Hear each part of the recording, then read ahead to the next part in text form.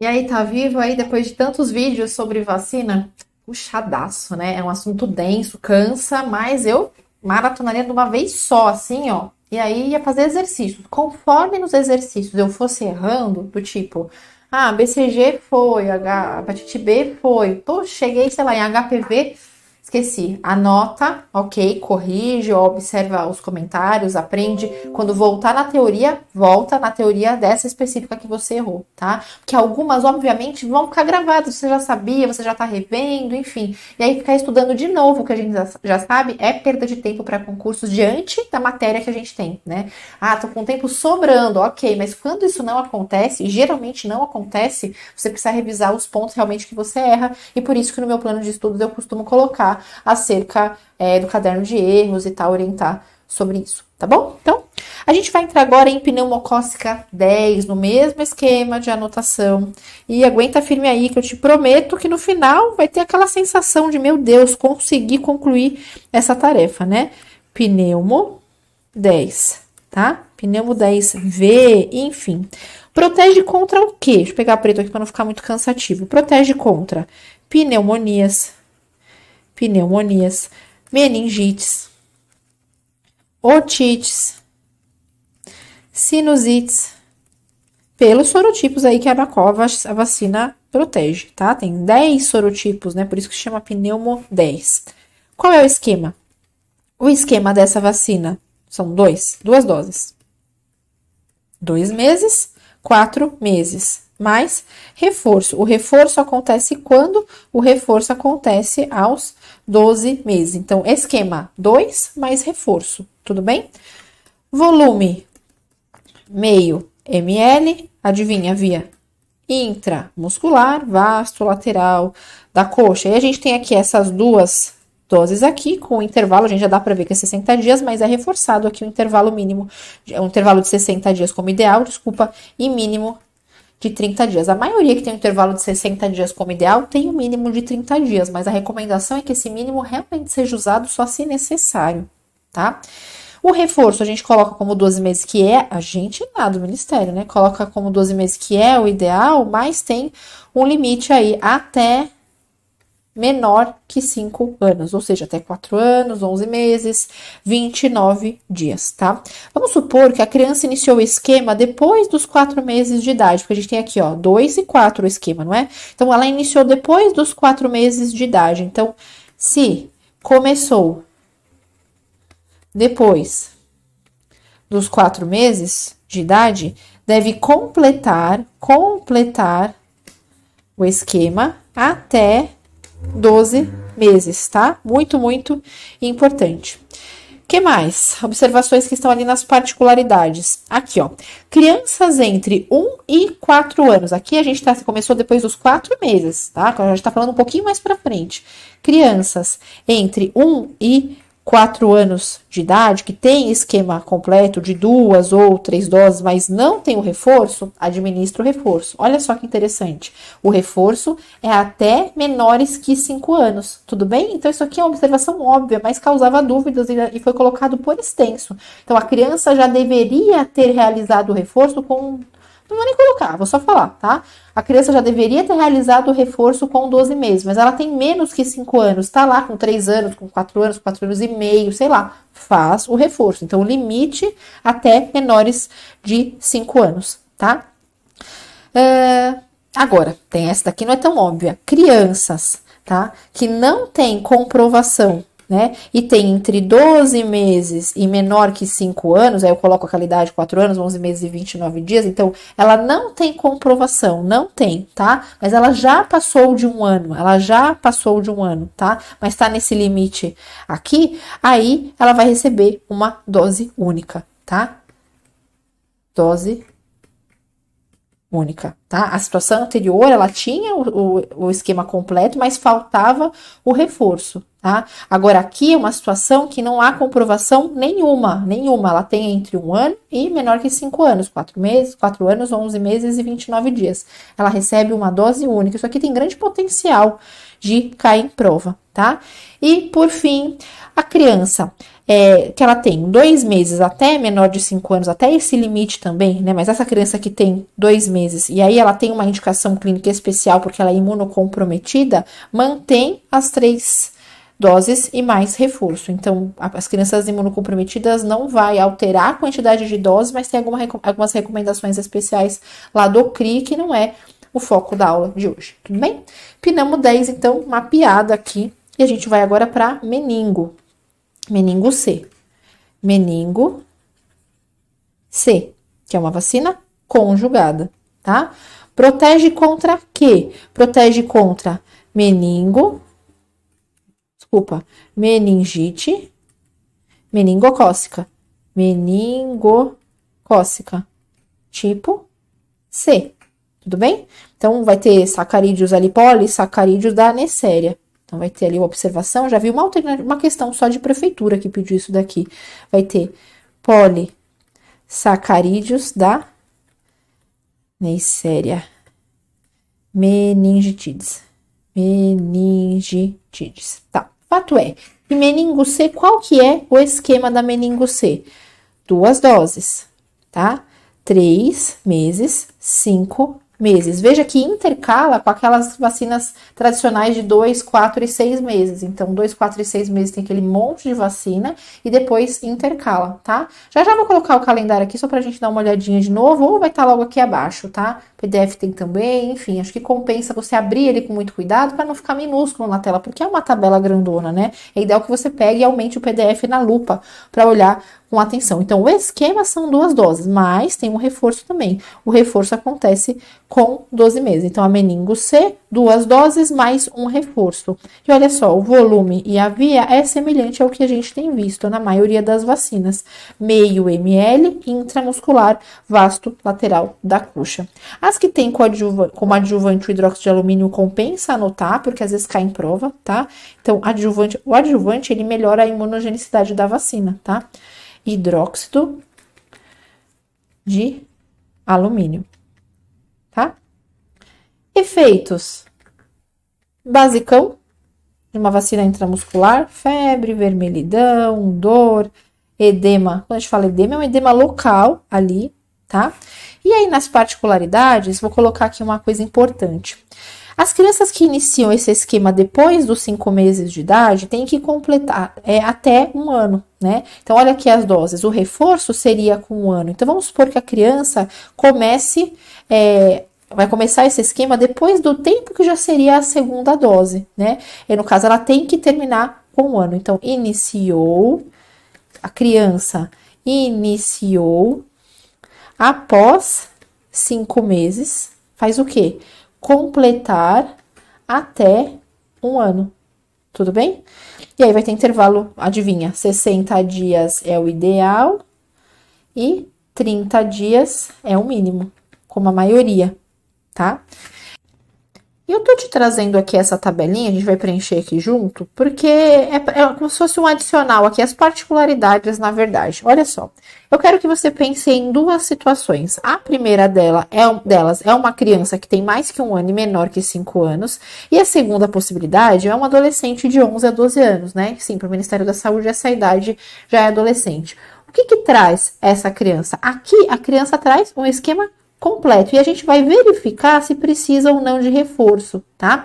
Então, esquema completo, que seriam o quê? As duas doses, ok.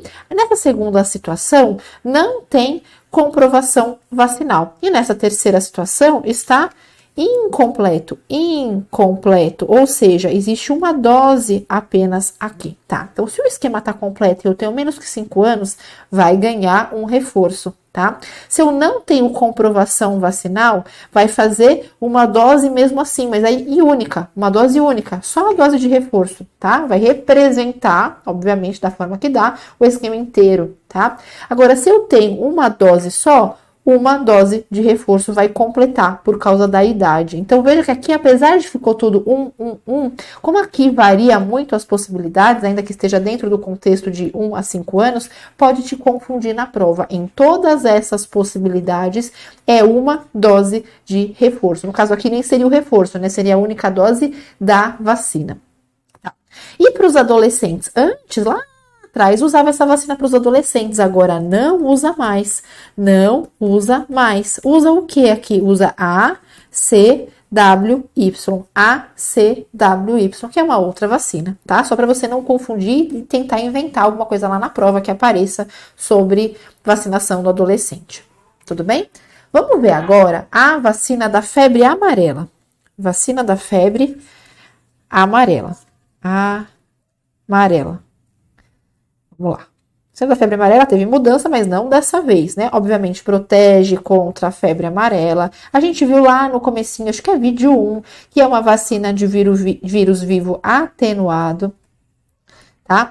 Quantas doses são? Ou seja, qual é o esquema? É uma dose mais um reforço, um reforço, tá? Um reforço, uma dose mais um reforço. Essa dose acontece aos nove meses e a dose de reforço acontece aos quatro anos. Tá? Essa daqui já era igualzinha, né? Nenhuma, nenhuma delas mudou, né? Mas aqui a gente tem por memória, porque na outra atualização, na última atualização antes dessa, entrou essa novidade. E aí a gente bateu muito nessa tecla, né? Bom, volume mantém meio ml, porém, olha via, atenção, a via subcutânea não é intramuscular, tá? E aí na região do deltoide. Deu. Tá apagando aqui porque não tem nada de deltoide. É no braço. A região subcutânea do braço, na parte de trás do braço, tá?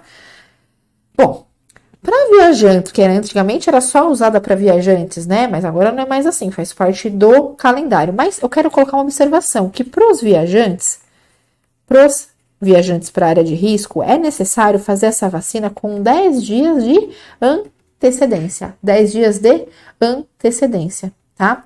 Isso a gente está falando em adultos, porque a recomendação, se for criança, idealmente pode ser feito até com seis meses de intervalo, tá? Então, no mínimo 10 dias, mas criança pode ser antecipada até para seis meses de intervalo. Observações importantes dessa vacina, tá? Gestantes, mulheres que estão amamentando, esquece, tá? Ela não está indicada para essas duas categorias, nem gestantes, nem mulher que estejam amamentando. Então, por isso, elas serão, essa vacina será adiada, né?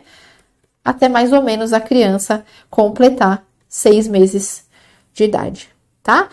Em algumas situações, isso aqui é a regra geral, em algumas situações se avalia o risco-benefício sobre a realização dessa vacina. Então, tudo bem? Aqui seria a regra geral, mas dependendo da situação, da moradia, do local dessa gestante, vai se reavaliar a questão da gestante para saber se compensa ou não, tá? Dos efeitos adversos dessa vacina, não tem nada de especial, tá? A febre, quando presente, ela é baixa, pode dar mal-estar, pode aparecer aquela vermelhidão, dor e edema local. Nada de novidade, tá? Tem uma observação muito importante dentro do contexto da febre amarela que cai bastante, é que a vacina de febre amarela, ela pode, então cuidado para aparecer na prova, não pode, ela pode ser administrada, ó a palavra simultaneamente simultaneamente, ou seja, junto com a maioria das vacinas, tá? A maioria das vacinas do calendário de vacinação, sem nenhum intervalo, mas tem uma exceção, exceto, e aí é fazer mil questões, né, com esse exceto, a tríplice viral, ou seja, SCR, sarampo, cachumba e rubéola, ou tetraviral, tetra viral, que seria a tríplice mais uma das vacinas, né? Que seria a varicela, tá? Em crianças menores de 2 anos de idade. Então, cuidado, pode ser administrado a vacina de febre amarela sem intervalo, junto com outras vacinas? Pode. Apenas aqui que não pode, tudo bem? Apenas aqui precisa ter atenção, tá? Hum, vamos pensar, a gente viu que o esquema né? Só relembrando aqui, a gente viu que o esquema seria nove meses e uma dose de reforço aos quatro anos. Foi isso que a gente viu? Pois é. E crianças que têm 5 anos de idade, vamos supor, vão, situações né, que saem do calendário. Crianças depois maiores, né, já completou 5 anos de idade. E aí, quantas doses? Uma dose, uma dose única, tá? E pessoas, né, além de crianças, e se for também adultos, né, de 5, no caso, né, de criança passando pela adolescência, passando pela fase adulta, de 5 a 59 de anos de idade, que não tem comprovação de nada, uma dose tá? E maiores de 60 anos, 60 anos ou mais, na verdade, né? Igual mais, ou maior que 60 anos, no mesmo esquema, sem comprovação. E aí o sistema de saúde é que vai avaliar se recebe ou se não recebe uma dose da vacina. Tudo bem? Uh, tem algumas, algumas precauções específicas, vou trazer aqui para você, porque a gente está vendo tudo de forma tão completinha, não vou deixar isso de fora de jeito nenhum, tá? Vamos supor que o indivíduo que foi vacinar, ele apresente uma doença aguda febril, só que aí seria uma falta, falsa contraindicação, que a gente já viu, mas vamos supor que essa doença aguda febril, ela esteja de moderada a grave, segundo o manual do Ministério da Saúde. Nessa questão aqui, aí a recomendação seria adiar a vacina, exatamente para a pessoa não achar que os sintomas que ela está sentindo é da vacina e de repente é da própria doença. Tudo bem? Vamos pensar que essa pessoa tem um histórico, aí seria uma outra, uma outra situação, tá? Um histórico familiar, desculpa, um histórico pessoal, um histórico pessoal de uma doença tipo Guillain-Barré, etc. Vou colocar um termo genérico aqui, tá? De uma doença neurológica, neurológica desmielinizante, como a Guillain-Barré tá? Uma encefalomielite aguda, disseminada, pode ser também uma esclerose múltipla, enfim. Aí aqui não tem uma diretriz, vai para lá, faz para cá, é uma avaliação. A recomendação é avaliação, tudo bem? Outra situação que a gente tem a condição de avaliação, é porque que mudou a cor aqui? avaliação é a alergia ao ovo, alergia ao ovo, conduta avaliação. E outro é a imunossupressão. Regra geral é que imunossupressão não recebe vacina tipo a febre amarela, mas por causa da região em que a pessoa vive, por causa do risco, que aí tem a ver com as regiões endêmicas, a avaliação também é a conduta, tá? A gente vai emendar agora com a tríplice, tá? E depois já com a tetra. Só que detalhe, a tríplice aqui, a gente já viu a tríplice. Não, a gente viu a tríplice bacteriana, DTP. Aqui a gente tá falando de vírus, SCR, que é a tríplice viral, sarampo, cachumba e rubéola. E aí a gente já emenda com a tetra viral, porque vai fazer todo sentido, que acrescenta a catapora. Tudo bem? Pra ficar simples aí. Tá acabando agora, hein? Então vamos lá. Tríplice viral. SCR igual a tríplice viral, tá? Não esquece. Precisa estar tá na ponta da língua quais são as patologias, as doenças que ela protege: sarampo, cachumba e rubéola. Tá? Lembrando que aqui é uma vacina atenuada. Com relação ao esquema, com relação ao esquema, a gente tem aqui aos 12 meses. Então, é uma dose? É uma dose, porque depois a gente vai ter o reforço. O reforço vai ter mais uma dose, mas ele vai acontecer com a tetra. Tetra viral depois, tá? Então, aqui essa vacina assim pura, né, no calendário infantil, 12 meses. Tem uma coisa que eu acho assim que todo mundo pula na leitura, que são os recipientes dessa vacina, mas eu já vi questão cobrando, então eu vou colocar aqui, tá? Recipientes dessa vacina. Anota aí: albumina humana, lactose, sorbitol, manitol, porque pode cair no verdadeiro ou falso, sabe? Se você nunca ouviu falar, talvez você marque como errado sulfato de neomicina e aminoácidos. Tudo bem? Gestante recebe? Gestante recebe? Não, não é para ser administrado em gestante. Tá? Efeitos colaterais são os mesmos, tá? Não vou nem anotar. Tá, vou sim, vai. Efeitos colaterais. Pode aparecer uma febre baixa, vermelhidão, edema local, etc, tá? Bom, é, detalhe com relação à idade. Olha só que interessante. É, vamos supor que tenha, a pessoa tenha de 5 a 29 anos. Veja que eu estou aqui já extrapolando o calendário da criança, já entrando em outros calendários, mas é para fazer essa observação e não ter que retomar lá na frente, tá? Se, essa, se dentro dessa faixa etária a condição é não vacinada ou esquema incompleto, né? Se essa é a condição, faz o quê? Quantas doses? Duas doses. Tudo bem? Tudo bem? Porque não vai receber tetra aqui, né? De preferência a tríplice, às vezes vai ter que dar a tetra porque não tem a tríplice, mas é de 5 a 29 anos.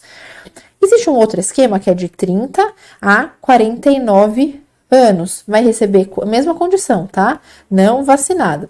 Vai receber quanta? Vai receber uma dose. No entanto, atenção, e é isso que cai.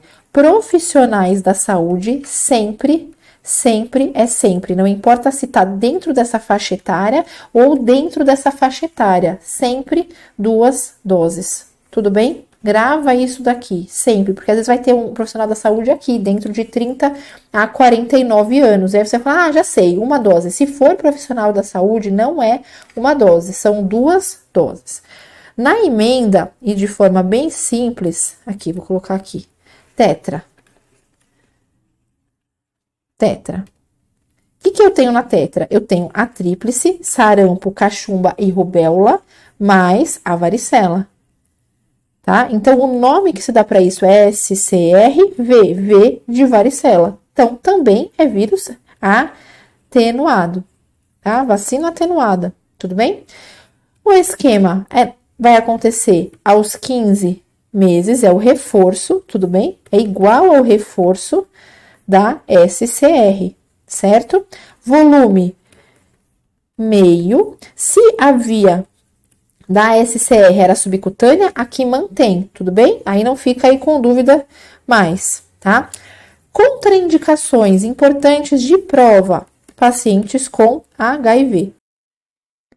Tem efeitos adversos? A mesma coisa, não é EDF. Tem efeitos adversos? Idem, tá? Adivinha? Dor, já vai falando comigo. Edema, febre, irritabilidade. Ah, mas tem uma coisinha diferente aqui. Manchas na pele. Ah, jura, juro. Manchas na pele. Caso apareça, não marque como errada. Tudo bem? Pode ser administrada com outras vacinas? Pode. Você lembra que a febre amarela não pode, não pode ser administrada junto com a SCR? É a mesma coisa com a SCRV, tá? Porque é só o acréscimo, SCR, tá? nem SCRV. Ou seja, se a febre amarela não pode ser administrada junto com essa, essa não pode ser administrada com a febre amarela. Então, ela pode ser administrada com outras vacinas, mas não com a febre amarela, tá? Certo?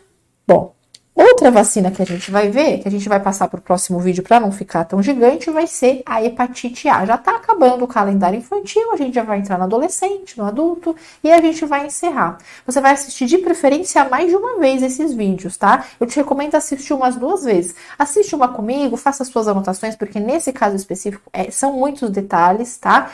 Passa um dia, dois, uma semana no máximo. Assiste de novo, de verdade, com seus resumos na mão, com seu esquema na mão, tá? Ou com o seu PDF grifando. Vai fazer muito sentido. Alguns pontos que você deixou passar batido porque estava cansado, porque, ai, né, tá, questão da idade, ai, tudo bem, só uma observação. Não. Aí na segunda vez que você assistir, aquilo vai se tornar mais claro para você. Beleza? Então, Conto com a sua, com a sua dedicação para o seu próprio bem, porque eu quero receber a sua mensagem de sim, acertei a questão de PNI na, na prova. Vai ser um grande prazer para mim também, tá bom? Um grande abraço, até mais.